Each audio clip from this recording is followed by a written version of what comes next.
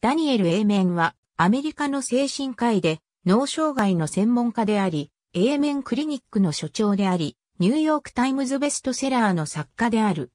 エーメンクリニックは注意欠陥、多動性障害や他の障害の患者のための医療を提供している。そこでは、A 面による実験として、彼の主張する、これらの障害の解分類を同定する、診断ツールとして、単一光子放射断層撮影が用いられている。しかし、A 面による精神医学と神経学の診断を補助するスペクトスキャンの使用は立証されていない主張に基づいており広く批判されている。エイメンは1954年にアメリカのカリフォルニア州エンシュノにて、レバノン系移民の両親のもとに生誕する。1978年にバンガード大学サザンカリフォルニア校にて生物学の学位を取得する。1982年にオーラル・ロバーツ大学の医学部で博士号を取得後、ワシントン DC にあるウォルターリード陸軍病院にて一般的な精神医学の訓練をホノルルのトリプラー陸軍病院にて児童精神医学の訓練を受ける。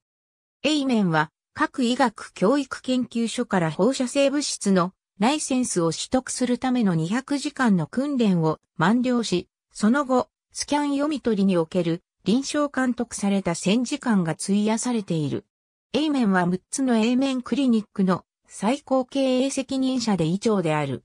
A 面は人の脳の活動を比較して健康的なモデルを知るために単一光子放射断層撮影、スペクトと呼ばれる脳活動のスキャンを臨床において使用している。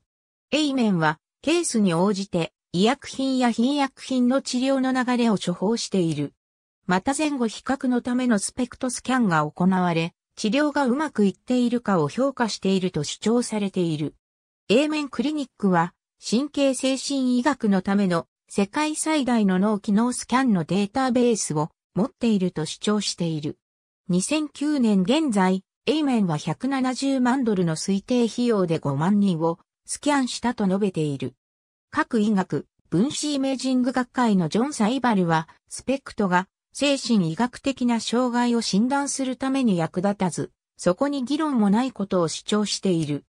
2012年のアメリカ精神医学会のレビューは、神経画像研究には、個々の患者を診断したり治療するための著しい影響は、まだないことを見出している。またレビューは、神経画像研究が、精神医学的な病気の存在に関して、個々のケースを正しく分類するための十分な感度と得意度を提供していないと記している。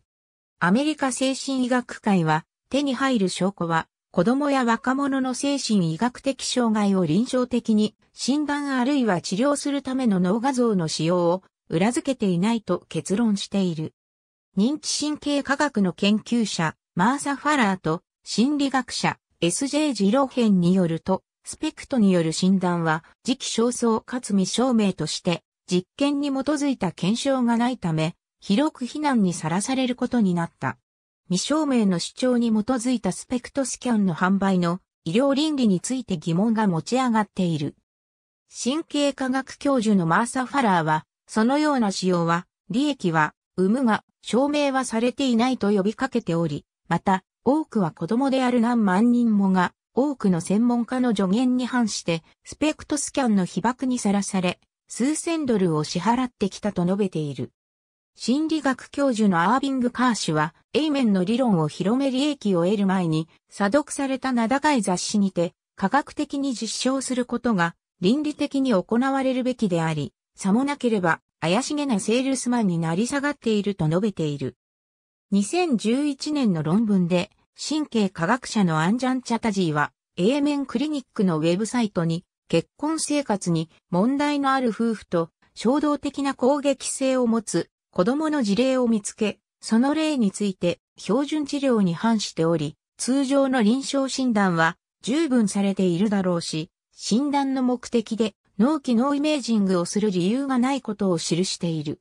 多くの患者は、スペクトスキャンが証明されていない主張に基づいていることを理解していない。ありがとうございます。